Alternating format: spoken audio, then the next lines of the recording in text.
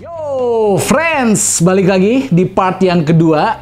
Yang paling seru kalau kita ngomongin tentang Hot Toys Iron Man Mark 85, digosipin, dibicarakan menjadi bahan yang sangat kontroversi di seluruh dunia, friends. Khususnya buat para kolektor Hot Toys.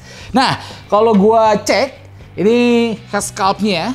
Kalau kita bandingkan friends ya, sama pertama kali Hot Toys keluarin gambar prototype buat PO-nya, memang ini bedanya rada jauh friends.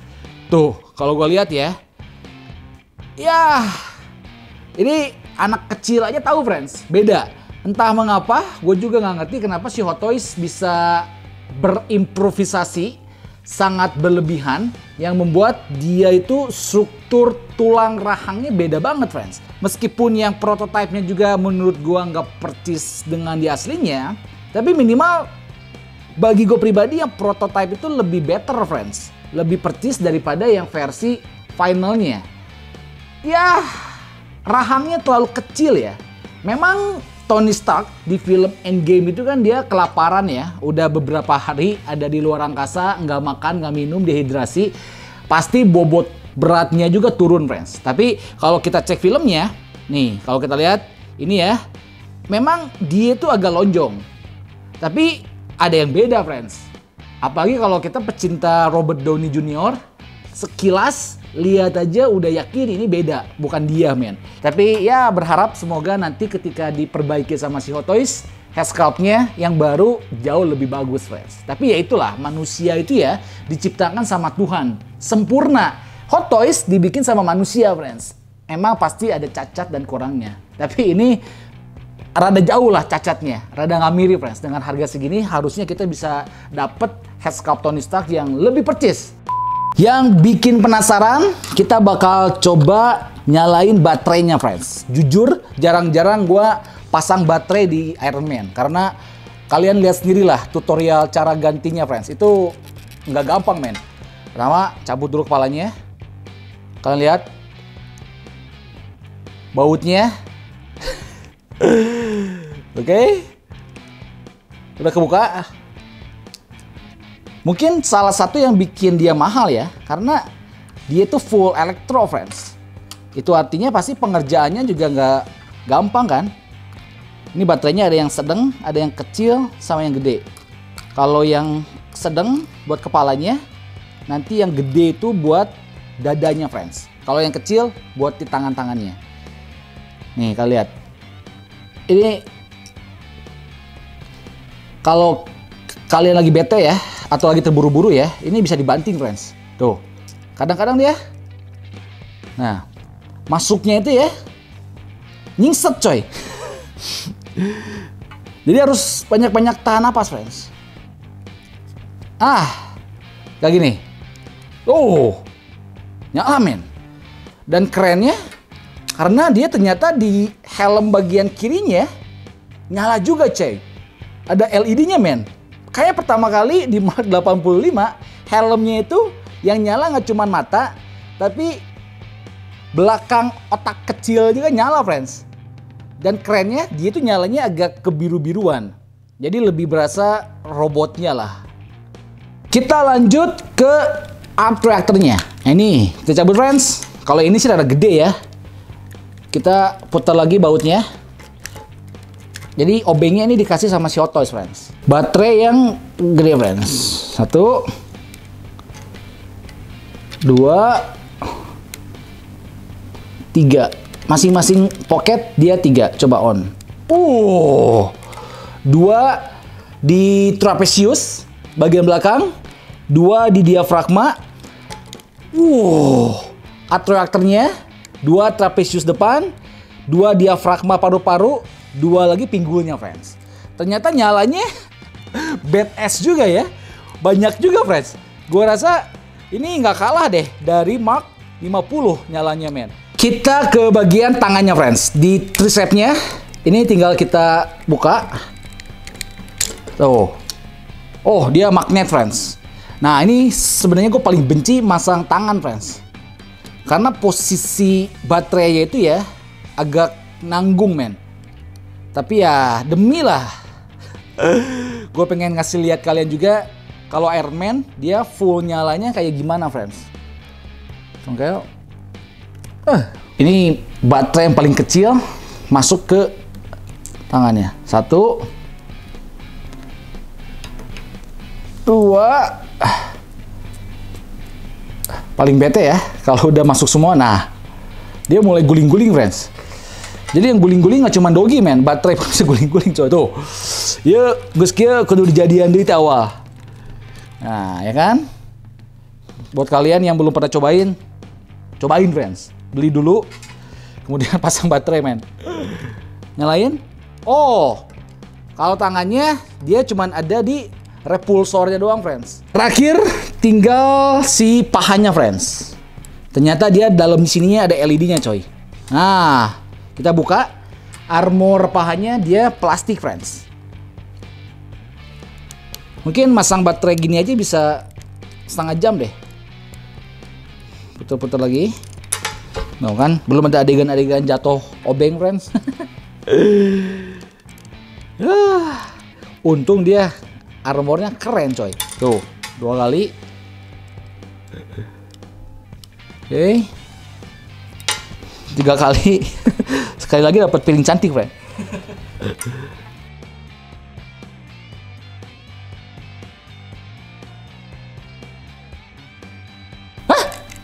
Cuma ini dong, friend. Si kambing teh udah susah-susah, baterainya paling gede. Cuma segini, men. Gak ada lagi yang nyala ya. Jadi ternyata pahanya kiri kanan sama, friends. Mengecewakan ya. Udah nyala begini, friends. Image-nya itu ya, kesannya itu jadi udah kayak bukan mainan, men kesannya itu jadi kayak miniatur lah atau action figure lah bahasa kerennya. Karena LED-nya itu yang bikin dia bener-bener udah kayak di film, friends. Gue mau cobain kita ganti pakai ini, friends. Nah, ini yang penasaran nih. Kira-kira Infinity Stone-nya dia bakal nyala atau enggak, coy? Harusnya sih nyala, men. Jadi ini tinggal kita tarik sesuai dengan manual booknya, pelan-pelan. Oke? Okay? Kemudian pasang yang ini. Wow. Wih. Edan friends. Infinity Stone-nya nyala coy.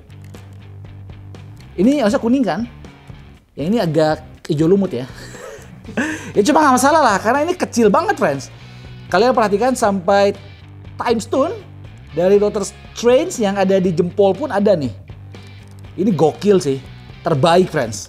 Nanti gue bakal pose seolah-olah dia ya I am Iron Man. Tapi itu cocoknya buat yang nanti sih versi yang battle damage ya.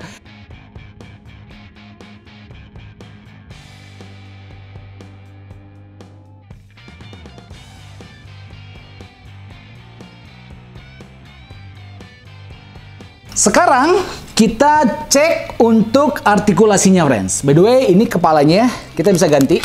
Walaupun gue yakin begitu kita ganti nilainya jadi berkurang friends. Tapi nggak apa-apa lah, cobain ya. Nah ini gini. Jadi sebelumnya kita pasang dulu si kerahnya. Jadi kerahnya yang sebelumnya kita cabut, ganti pakai kerah yang udah disiapin sama si Hot Toys-nya friends. Nah kayak gini men. Ini. Ini. Wih. Not bad ya. Setelah kita pasang armornya, ini head sculptnya yang rada burik, jadi lumayan fans. Tapi jangan khawatir lah, walaupun dia burik, Hot Toys udah berjanji dia bakalan ganti pakai head sculpt yang baru yang udah diimprove karena banyaknya komplain dari customer. Baru kali ini dalam sejarah Hot Toys ngedengerin curhatan kita para kolektor friends. Paling keren dari Iron Man karena dia itu tangannya ya. Nah, kalau kita mau gerakin shouldernya kita buka sedikit. Oke, kemudian kita tarik keluar friends. Nah, ini dengan tujuan supaya ketika kita puter, dia itu nggak menggores armor dadanya, friends. Si shoulder armornya ini tuh. Karena mulai ada jarak antara keteknya. Bicepnya dia bisa main tuh. Ada sedikit artikulasinya. Supaya kalau kita tekuk tangannya, bicepnya ini dia nggak kena ke pergelangan tangannya. Kemudian di diafragmanya, friends. Ini bisa kita tarik ke atas Nah, pelan-pelan juga ya. Jadi dia ada kayak semacam rongga yang memungkinkan kita bisa tuh nekuk, kemudian pose ke belakang, ke pinggir, ke kiri, ke kanan. Oke, diafragma atasnya bisa dibuka, kemudian diafragma kiri kanannya bisa dibuka juga nih. Tuh. Wih, canggih men. Ini udah kayak Mark 5 men. Nah, bisa kebuka. Kelihatan nggak ya? Harusnya kelihatan friends. Kolornya seperti biasa friends, dia bisa kita buka sedikit. Nah, kemudian kakinya ini bisa kita tarik ke bawah sedikit. Ini tricky agak berbahaya friends. Jadi harus pakai perasaan lah ya. Nah, ini udah turun friends, kaki sebelah kanannya. Yang memungkinkan kita bisa gerakin kakinya lebih tinggi friends. Karena kolornya depannya kebuka, pinggirnya pun ternyata kebuka. I am inevitable. Tisik, sakadeng sia. I am Iron Man. Cah, scene favorit gue friends. Jadi ini perbandingan antara Thanos Endgame dengan Mark 85. Ya, gue rasa cukup oke okay ya. Scale-nya percis, walaupun gue lupa-lupa inget friends. Memang si Matt Titan ini dia jauh lebih tinggi daripada siapa pun superhero yang ada di Avengers. Termasuk si Hulk deh. Rasanya Thanos lebih tinggi, friends. Jadi, oke. Okay, sekarang gue mau coba bandingin sama Iron Man versi yang lawas. Nah, ini dengan Iron Man Civil War Mark 46. Wih, ternyata yang 85 lebih bongsor, friends. Jauh ya. Tuh, ini rada ngangkang sih, coba ini dulu ya. Nah. Tapi tetap friends. Dari shouldernya aja kerasa yang 85 jauh lebih tinggi men. Mungkin ada perbedaan sekitar 2 cm lah sama yang 46. Kita coba bandingkan sama yang versi klasik. Ini Mark 6 friends. Yang menurut gua desainnya paling mendekati Mark 85. Kakinya, pahanya gold. Sama friends. Nah, ini perbandingan tingginya. Jadi yang 85 dia lebih tinggi 2 sampai 3 cm daripada Iron Man yang versi sebelumnya. Aneh, friends. Harusnya Tony Stark tingginya kan gitu-gitu aja. Armornya pun tingginya harusnya sama. Tapi yang 85 jangkung pisan, men. Jadi buat kalian yang pengen beli ini friends, ready stock by Air Kalian follow aja Instagramnya di @heldak aman terpercaya recommended dari gua. Ataupun yang pengen beli Hot Toys PO berikutnya, follow IG-nya friends. Berikutnya, terakhir yang pengen gua review adalah ini friends. Dia adalah Light Shield 1 per 6 scale. Ini bukan buatan Hot Toys. Kalau gua salah ketika si Hulk menjentikan jari, jaga-jaga bareng si Ronin, si Tony pakai ini shield friends, yang rada mirip hologram gitulah. Kalian bisa beli friends, ini terpisah, third party gitu, Finger Studio men. Kita cek sekeren apa. Kalau nyala kayaknya bakalan bagus. Jadi sebelum kalian beli pastikan kalian nonton dulu ya. Wow. Dalamnya kita dapat UP. Ini hologram Mark 85 warna hijau. Shieldnya. Oh, bahannya kayak dari semacam plastik tapi yang versi transparan tuh. Bahannya tebal, nggak fragile, jadi lumayan friends. Dan ini tingginya memang setinggi si Tony Starknya tuh. Percis sama di filmnya. Nah gue lupa tuh, kalau gue nggak salah kalau kita beli yang versi Battle Damage dikasih juga shield gini friends. Tapi kalau kalian beli yang reguler kalian nggak dikasih. Oh, ini nyalanya lumayan terang friends. Kita coba ya ke efek shieldnya bakalan kayak gimana. Ah, kayak gini sih. Jadi memang menyebarnya dia nggak menyeluruh, tapi sampingnya lumayan friends. Jadi kelihatan garis-garis tegas si shieldnya. Oke juga ya. ini kalau nggak salah gini posisinya kan? Atau gini? Gini sih. Nah ini kalau gelap ini lebih bagus friends. Jadi di sini ada kayak pegangannya. So kita ganti pergelangan tangannya, kemudian tinggal kita masukin gini friends. Nah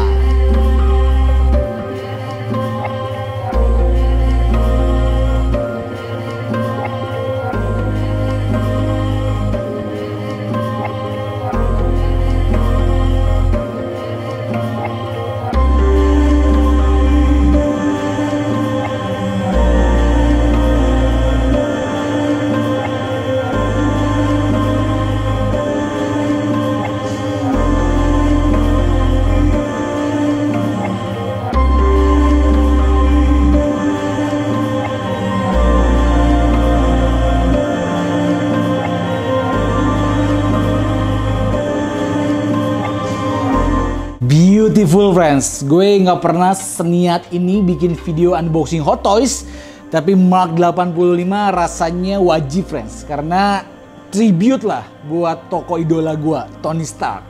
Ini pose andalannya, scene ikonik yang membuat hampir kebanyakan para pria pecinta Iron Man meneteskan air mata friends. Karena untuk terakhir kalinya dia mengorbankan nyawanya demi umat manusia men. Memang kalau yang versi reguler di pose yang gini kurang cocok friends. Tapi yang battle damage kita dapat sculpt yang udah babak belur berdarah, kemudian chest plate-nya yang bolong, armornya yang udah gosong, itu lebih pas di pose kayak gini. Kalau ini sebenarnya posenya paling bagus, pose ganteng friends. Awal pertempuran melawan Thanos. So, gue suka banget. Ini Mark 85 Beautiful. Buat kalian yang pengen beli ini ya, kalian boleh langsung follow IG-nya di Heldak by Air harganya rada mahal karena yang resmi belum masuk ke Indonesia, friends. Pesan terakhir yang bisa gue sampaikan ketika melihat ini figur adalah seburuk apa pun kita saat ini, sebajingan apa pun kita, sebrengsek apa pun kita, friends. Selama masih ada waktu, yuk kita berubah, bertobat menjadi manusia yang lebih baik. Karena seperti yang gue post di IG gue, kalau kita mati, kira-kira orang lain akan mengenang kita orang seperti apa? Tony Stark die kita mengenang dia sebagai sosok pahlawan, rela mengorbankan nyawa demi orang lain. Kita mati akan dikenang seperti apa, friends? Jadi, mari kita sama-sama tebarkan kasih dan selalu berbuat baik, friends. Bertobat dan berubah. Gua Frans Jaya, thank you so much. See you in the next video. Salam, hanya mainan yang mempersatukan kita. Bye-bye, God bless you, God bless Indonesia. I love you 3000.